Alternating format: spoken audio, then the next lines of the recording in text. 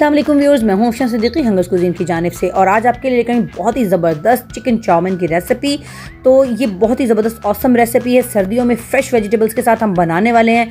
तो चलिए मेरे साथ इसको बनाते हैं। बहुत ही टेम्पटिंग रेसिपी है, बहुत मज़ेदार। यहाँ पे 500 ग्राम्स चिकन लिया है मैंने, थाई और इसके ब्रेस्ट के पीसेस शामिल हैं। इसके अंदर मैं शामिल करी हूँ हाफ़ टी स्पून नमक, साथ ही इसके अंदर हम शामिल कर रहे हैं गार्लिक पाउडर ये वन टी स्पून है। लहसन का पाउडर इसमें शामिल कीजिए। फिर इसके अंदर चिली सॉस जो है, वो तकरीबन दो टेबलस्पून भर के इसमें शामिल हो रहा है। साथ ही इसमें सोया सॉस भी दो टेबलस्पून है और सिरका भी, जो सफ़ेद सिरका है, वो भी दो टेबलस्पून है। ये सारी चीज़ इसमें शामिल कर देंगे इसको टेंडर और जूसी बनाने के लिए।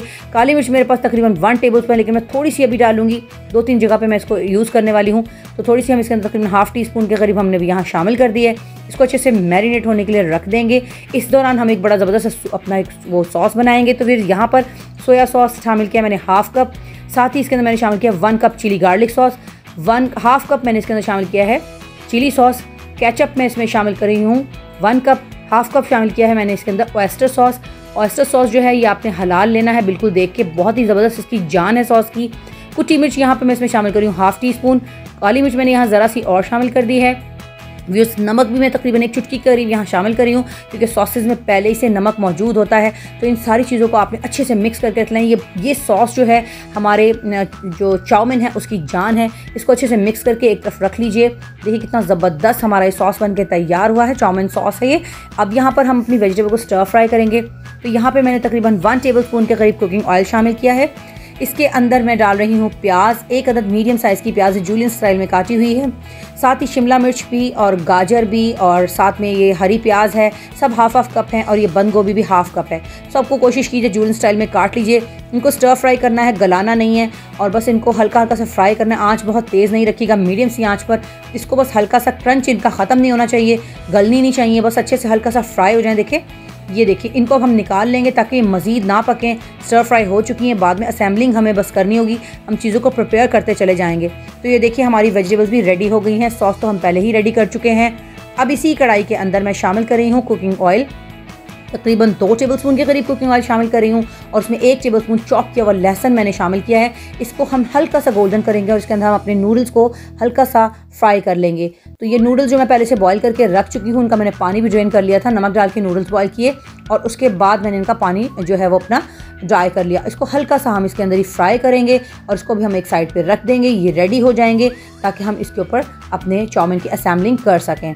फिर बस इसको हल्का सा अब हमने दूसरी कढ़ाई लेनी है, इसके अंदर हमने ऑयल डालना है तकरीबन दो टेबल स्पून यहाँ पर इसके अंदर मैं शामिल कर रही हूँ चिकन जो कि मैं पहले से प्रिपेयर कर चुकी हूँ मैरिनेट किया हुआ ज़बरदस्त चिकन है हमारा।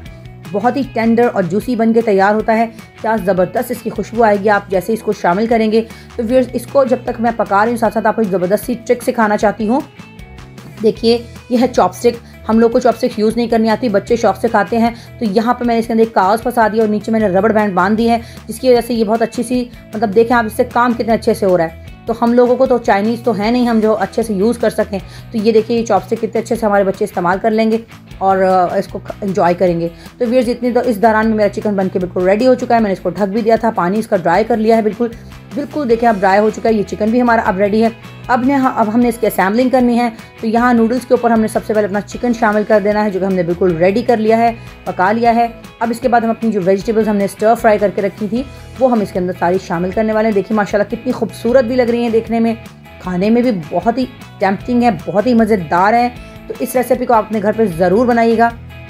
बहुत ही सिंपल सी रेसिपी है, मुश्किल नहीं है। अब जो हमने मज़ेदार सा अपना चाउमिन सॉस बना के रखा है, ये सॉस आप इसके ऊपर डाल दीजिए और इसके बाद आपने बस इसको अच्छे से मिक्स करना है और अच्छे से इसको मिक्स करना है और आप देखिए कि आपके ज़बरदस्त किस्म के चिकन चाउमिन बन के रेडी हो जाएगा। जो भी खाएगा वो आपकी तारीफ़ें करने वाला है। तो ये मेरी बहुत ऑथेंटिक रेसिपी है। इसको आप अपने घर पर ज़रूर ट्राई कीजिएगा। तो मुझे यकीन है कि मेरी रेसिपी आपको बहुत पसंद आई होगी।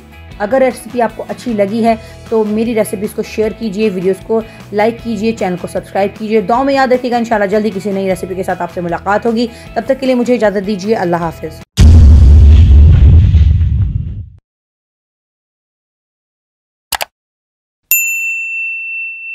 Mm.